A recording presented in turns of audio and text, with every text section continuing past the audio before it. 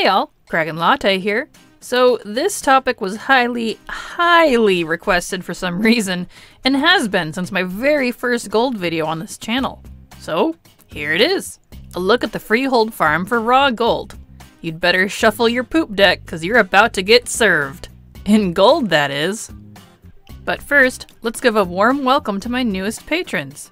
BFMV Metal A7X, Caitlin Moffat, Craig Smith, David J, James Arlington Hain, and Etheldra and Elliot Allman.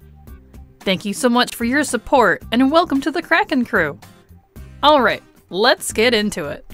So, let's get something straight real quick. I don't do competitive content in WoW anymore.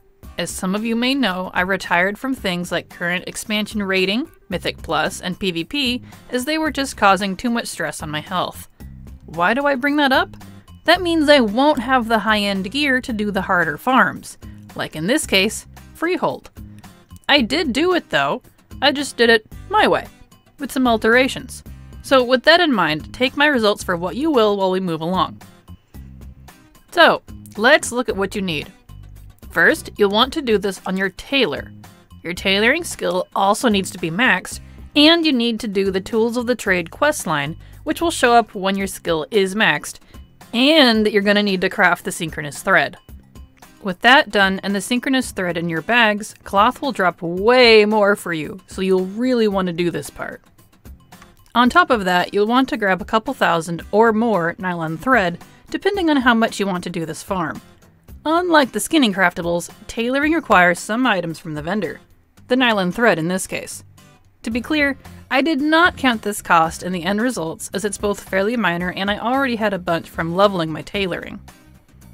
Then you'll also want to make sure this same toon is geared, probably in the 460 plus range, as well as having strong essences and corruptions to both make this easier on yourself and let you clear it in a reasonable time. As you can see here, my tailor is a little 412. Yeah. So how did I do this? I recruited Silverfire T, my close friend and co-host, to carry me. I'm despicable, I know, but you can thank her for making this video possible. So, you got your tailoring done and you're geared, you're ready to do this. Make sure to set it to normal, as that's what we'll be doing this on, and head inside. Now, the easiest way to explain this is you are killing all the trash in this dungeon, but not the bosses. You'll want all the yellow mobs too, Almost everything here are humanoids, so they drop lots of greens and cloth. Remember I told you to have the synchronous thread? That's because it increases the cloth drops by an intense amount, like, big difference. Now Silver here is not a tailor, but I'm told that my thread can boost my party members' drops too. I have no confirmation on this, but her total Tidespray linen at the end is very close to mine, so keep that in mind. So I know you'll ask about my clear times. It took us 12 minutes to clear this each run. Laugh all you like, but this was rough, as neither of us raid.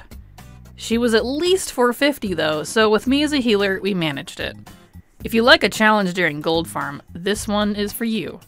Because of that though, I won't give you a gold per hour result, but rather a look at what 10 runs will offer, since that is the hourly lockout rate, and I'll just assume you're awesome and can do this better than me in under an hour. I'm sure there are plenty of ways to min-max this, so feel free to share your elite tips in the comments below. Alright, so let's take a look at my results. To preface, I do not know what having a friend with you will do to your loot drops from mobs, but I simply could not do this alone, so take my results for what you will. So, total gold from gray items was 6500 gold. 3200 from me, 3300 from her. I had a lot of greens, as you're seeing here. Like, a lot, a lot. More than I could hold. Honestly, the grays and greens are the best part of this farm and make up the bulk of the gold. The greens put our total up to 11.6 thousand after vendoring all of them. And now, the cloth. The total between her and I was about 2300, an impressive amount.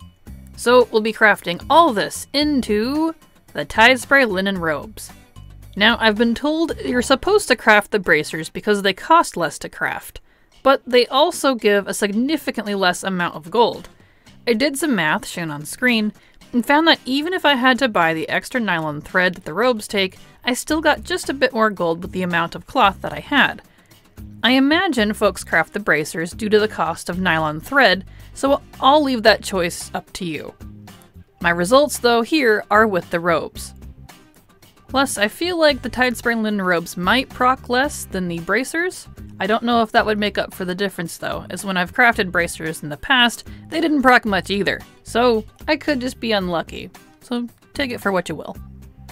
So, after all those were vendored, I got a grand total of 17.4k gold. Woo! Considering it took us two and a half hours to do this, it is way not worth it for us. And you are actually seeing 16.4k gold on screen, but that's because I had about a thousand in repairs. So ignoring my repairs, 17.4. But if you are able to do this in the bare minimum of 6 minutes per run, this could be totally worth it for you. I've been told plenty of times of from plenty of geared people that they've had great success, so give it a shot. And as a reminder, these results are based on doing this with a friend. She gave me everything she had, gold included, but I've been told from other guides that and various comments to expect anywhere from 10 to 20,000 gold in this farm, which is an awfully wide gap, so I'm not sure why that is. Either way, I hope this was helpful for you in some fashion. I'm sorry I can't do this solo to give you those results, but hey, it can be done with a friend, so that's cool, right? Perhaps try this farm with your friends and share your results in the comments. I'd like to see if there is indeed a difference between 1, 2, or maybe even a full 5 group. Thank you so much for watching, and remember, it's never too latte. And that's it. Thank you everybody for watching. I hope you enjoyed the video. Don't forget to hit that subscribe button and poke that bell for more Coffee Field content. Leave a comment down below if you liked it, and remember, it's never too latte.